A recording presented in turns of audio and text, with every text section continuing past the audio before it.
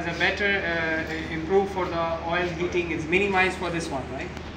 So we have here like uh, the oil separate, uh, the oil and refrigerant goes for the condensers, is cooling the oil and goes for the oil filter side. And this one you are talking about for this line is only for return.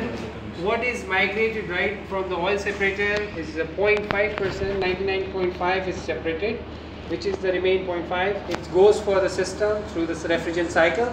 So it will be collected here right? So it will goes oil mixtures back to through the standard is there right?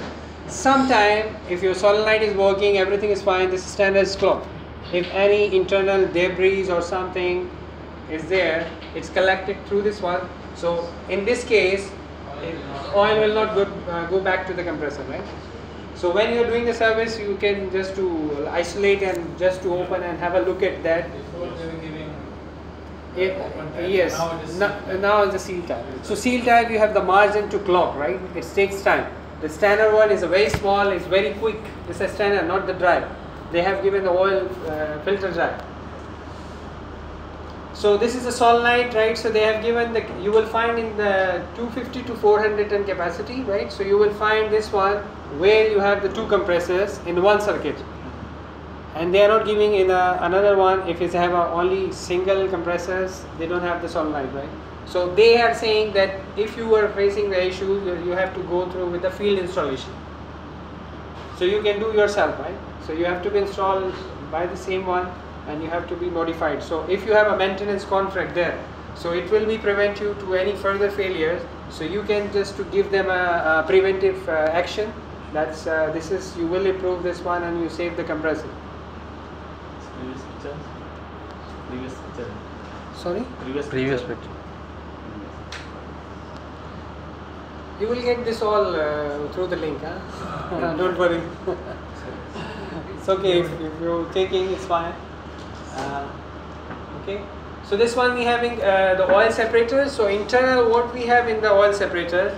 So if you will see here, this is the refrigerant inlet, and you will see this is a the pipe is going toward the gas will go to the condenser, right? So this is the inlet of the oil separator. This is outlet to the condenser. So from here is separate the oil. So oil will go for the next slide. You will see. So we having this one the vertic box. So we have this one. The line is goes to to the compressor. So internal it doesn't have anything just for a static part, right? So just to makes uh, help to separate the oil.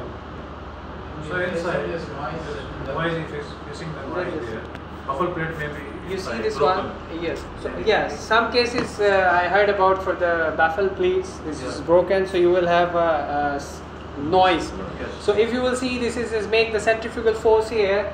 So in that one, what gonna happen? The gas will go back to the condensers the, on the surrounding area and the drop, and by the gravity, oil will back to the oil sump, right? So here is a vertic box. So what happened is this baffle plate will support to go refrigerant back to the condensers and due, because of the centrifugal force the oil will be uh, on the on the surrounding valves so it will become to the bottom by the gravity? And then it goes to the outlet of the compressor for the filter side. So we don't have any things inside for that. So this is just to the reference that what exactly is doing. You can just explain your customer if somebody is ask you. So this is just separation of the oil. It's the main function for that. So this one they have given a vertic box right?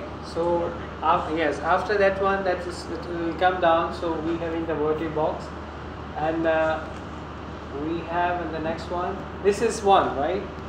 So you will have to see there is a valve right? For the oil uh, crankcase heater for, for the oil separator heater. So it will work when your compressor is off. So when the compressor is start it will off. Right? So this is just to give you that uh, if your compressor is idle condition so the, the, the, the oil I mean refrigerant separate from the oil. So it will not have a throttle and panic start uh, in, in, in lubrication for the initial start. So condenser and subcoolers right? So we have the fins and uh, the copper tube right? So air is flows uh, from here to here to it will transfer the heat to the ambient.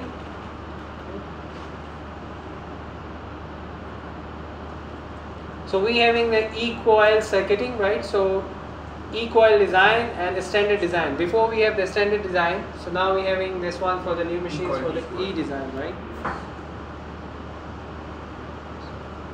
So this is the configuration of the uh, E-coil pattern, right? So if you look at here, this is a vertical coil and rear side, and this is a vertical coil for the front side. So if you look at on the physically, so you will have this one. So you will see here for the one. So this will it's enter the uh, the refrigerant from the one, right? So you will have this one. Uh, if you will see, this is the E tube rear side and the E tube from the front side. So you will get it at the end of this one. So you will see that this one is a yes cross one. So it will make like this one. So coil uh, arrangement for the RTAC 120 to 200, right? So the condenser configuration will be changed based on the capacity, right? So if you will have this capacity 1 to 2, uh, 120 to 200, so if you will look at from the panel side, there is electrical panel. So that circuit will be uh, the if you will from, from the front side. So right side you will be circuit one, and the left side will be circuit two. So this is and the all capacity you will not find like that, right? So this is from this ca uh, capacity range you will have that one. So you can see here the 250 to 400. So you will see here from the electrical panel. So near the electrical panel is the circuit 2 and the last one is the circuit 1. So that is the configurations is based on the capacity. Okay. And also in this one, for uh, this unit, whenever you are have a, a 120 to 200 ton, if you look at for the uh, oil uh, level sensor, so don't be mistaken because which side is the compressor, this is for this circuit. I've seen it this one, the, some technician made the mistake because he thought that he didn't check it physically. He thought that this compressor is circuit 1, so this the li liquid level because you change the uh, evaporator for the other side. So he changed that one and uh, he said still facing that problem. They say I changed the new one and, and it's not sorting out. So only for this 120 to 200. 200. And he didn't mention, but definitely when you will plug off this uh, LLID, it will give you the communication alarm for the circuit 2 instead of the circuit 1. But this guy is physically thought this is belong to this one, but this was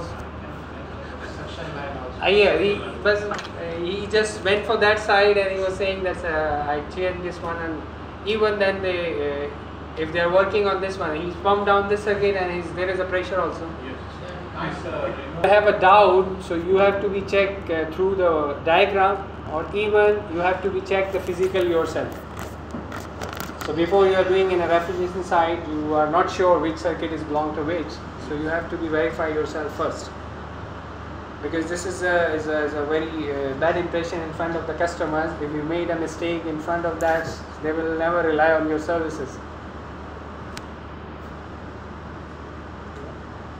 So we are using in that one the condenser fans, uh, uh, 8 poles is depending on the RPMs, right? 6 poles, the RPM will increase. So we have this type of the condenser fan in that one, right?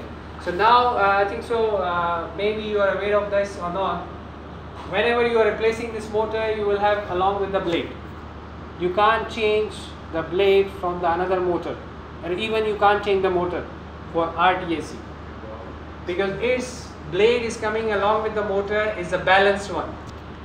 If you will make it replacing from another uh, one blade from another motor and you change it that one, having different model. uh, but this one I'm talking about for the uh, Europe, European one, right? So US one I think so. is- Before they have the metal blades, right? No, it's Now it's a better. better. It's still But in not bad. special condition, they are putting the plastic plates. Ah, okay. For So special requirement for the customer. Ah, Yeah. So in this one, uh, and uh, uh, because uh, sometimes customers ask that uh, we have a problem with the blade white, so this is the, uh, the arrangement for the condenser fan assembly to the RTAC. So electronic expansion valve, it's the same one. It's, it's having a different capacities based on the uh, unit capacity. and circuit 1 and circuit 2 the yes so both are not same capacity right so if you are changing this one so don't uh, you have to be mentioned that which circuit you are requesting in the part right? but you can change the motor i think so motor is same No, Motor is also not same. motor is not same This is wall 74, uh, 8754 and 8751. no i am talking about for the stepper motor Yes, yes. only But the motor is also different. motor is also different For 100 ton it's different. Yeah if you will change with the same capacity then it's fine right but Yes. you can't The change stepper motor is no more available. Before it was coming right now Before it i think so they it's stopped an outlet uh, and then we having a uh, this it is has been replaced also. The expansion wall has been re- replaced. now now we have the new ones New so model we, is yes because you know uh, before we had the same thing in the cgam CJM. so you need to be have a expansion valve and Expansion separate valve, module separate module. right because if, if you will place the order this is two part module is separate part and this expansion is separate Same as a sensor. So now it will become for the RTAC, right? And then if you will have uh, uh, CGM units, so this module is same for the programming. So you have to place the order for both, any of the replacement of the expansion valve. So you have for the CGM and RTACs, you will have to place the order with module, the new expansion. If you place the expansion wall, it will come uh, simply then how you are going to binding this one. There is no no option. Mechanical. The body will come separate and the. It's, it's the same like if you will see the US one, the liquid level sensor is have a separate module before, Before. old model. Now it's coming with with the with the same. it was on float. Yes. Yes, yes, exactly. And sensor two. So remember when you're placing the order for this, so you will have to place the order with the module. FLT005 and, uh, Sensor uh, 1314. Three one four. yeah. So this one is the internal view for the uh, expansion wall. So there it's having the uh, uh, electronic assembly. This is the gate train and the lead screw pistons which is, is moving through the motors and then this is the stepper motor. So it will be communicating with the processes and based on the parameters. So But we don't have any module for this. Which? Expansion module we have. Inside no, no, no, because no, because it, itself, if you look at here, this is the moisture uh, indicators, right? So you will see here that it's change this uh, color. If you will have a moisture uh, in the system, it will change the color to the gray. So this is normal operation, it's green. So you will see here when the expansion valve is closed. So side glass, you will see this rod, the gray one, it's closed. So this is half open. You can see the position here on the side glass, and this one is a fully open expansion. You will get this feedback signal in the controller that how much is the expansion valve position is open. Okay. So this is not. Sometime what happened? The controller is giving the position, but physically It's not open. maybe the this screw is damaged or maybe it's stuck up but the control feedback you're getting is showing uh, is fully open but physically it's not open so you have that's why the side glass is there so you will have to be see physically Can have a. How many? How many slabs you have? Ah, this one is still 10 slides Huh? 10 Ten? okay so so this one they have the circuits right so you will have to see here uh, the water inlet and outlet this is the circuit 1 and circuit 2 okay? So they have written. and this one is a uh, the liquid level sensor This three phase uh, and uh, two phase. What's the difference between two no bus and two yeah, bus? because they this depend on the capacity right and it's depend on your uh, requirement because we having a three pass so we have an inlet from here outlet from here right Yeah. No, so this is this is this is depend on the uh, installation requirement right so, Even, There's even, nothing even to number do of inside bus. the internal. It's no internally same because they have the uh, sep- uh, the, the par- partition inside so it doesn't make this this is the three pass it depend on the requirement but you cannot make it Uh, I think you can have up to six pass no in this one is uh, two pass and three bus. three pass No, for evaporator. For evaporator. yes this is for the evaporator We have up to three, six pass evaporator. No. No. RTAC we don't have. RTAC two pass three bus. three pass maximum PhD. RTAC. RTHD we have also for the all uh, circuit 1 and circuit 2 you will see the refrigerant relief valve is there right if in case your HP doesn't uh, low uh, uh, pressure is ex exceeding by any case so it will release the gas from this relief valve so and this is the circuit 1 circuit 2 and then uh, this is uh, for the Limit is liquid 200? sorry 200 pressure. 200 is standard. So it may be around 220. Yeah because uh, if you will look at for the nameplate on this one so they 200 so that's is 200 for the evaporator. No, and uh, the, this one is higher for the oil separator one. So this one uh, we having uh, the evaporator what we are using in the RTAC, Solid. uh, right? It's a it's, it's a falling film technology, right? So we are using here in this one. So you will see here that the suction. Uh, we will say see in the next slides. So two um, phases in the refrigerant. So you will see here this is the distributor plates. So you can see this is the tube. So what gonna happen that the liquid is coming into that. So equally is distributing through the plates and it will go and uh, touch with the surface and evaporation is going to start. So what is the uh, process is happening here? So which is is coming this one for the uh, uh, saturated liquid is, is, is uh, spraying through the dis- uh, distributor plate. So suction is passing through that. So we have a heat exchange, right? So suction is going on the same uh, uh, path. So we having an effect here for the heat transfer, right? So it will increase the efficiency of the uh, evaporator. Okay, so this one is uh, the, the distributor plate, right? So where the liquid is passed from this side, and then you will see it's equally sprayed to the uh, the, the tubes. And this one is a physical. If you will look at uh, that house is a construction inside uh, the evaporator, right? So this is the distribution plate, and this is the tube sheet. So liquid level we have this feedback signals also in the display right so it will be uh, plus 2.5 centimeters and then it will be 25 mm right so you have to be see which uh, unit you are using so it will become according to that. So it will be uh, like uh, during the operation it can go up to uh, minus Minus 25 25 mm and plus 25 mm right? So this is the range of this uh, level sensor. So if it's limiting the capacity so it's uh, indications that you have a lack of refrigerant so you will have to be see that uh, there is uh, some leakage So the zero here is uh, normal.